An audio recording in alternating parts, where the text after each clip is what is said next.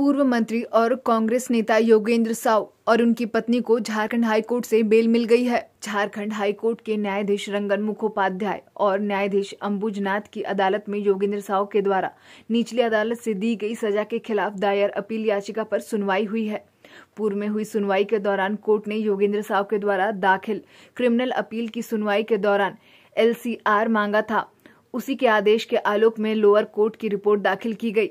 योगेंद्र साव की ओर से झारखंड हाईकोर्ट के अधिवक्ता विशाल तिवारी और अधिवक्ता शुभाशीष रसिक सोरेन ने पक्ष रखा।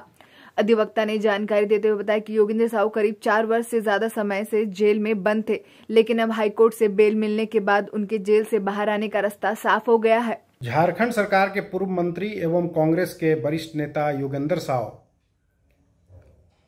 के मामले पर आज झारखंड उच्च न्यायालय में माननीय न्यायमूर्ति रंगन मुखोपाध्याय एवं न्यायमूर्ति अंबुजनाथ की खंडपीठ में सुनवाई हुई।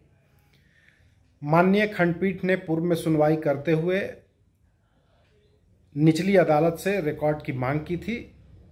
रिकॉर्ड आने के बाद सभी पक्षों को सुनने के उपरांत योगेंद्र साव को जमानत की सुविधा प्रदान की है। ये हजारीबाग में एनटीपीसी के खनन क्षेत्र में उग्र प्रदर्शन एवं उससे उपजे हिंसा मामले में आरोपी बनाए गए थे और चार साल से बतौर कैद में थे। आज उन्हें जमानत की सुविधा दी गई है। गौरतलब हो कि बड़का गाँव के चिरुडी में एनटीपीसी द्वारा अधिग्रहित क्षेत्र में खनन के खिलाफ विरोध प्रदर्शन के दौरान हिंसा मामले में निचली अदालत ने पूर्व मंत्री योगेंद्र साव को 10 साल की सजा सुनाई थी, जिसके बाद पूर्व मंत्री ने निचली अदालत से मिली सजा को निरस्त करने को लेकर झारखंड हाईकोर्ट में गुहार लगाई थी।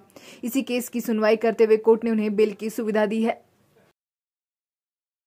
Bureau report, News Wing.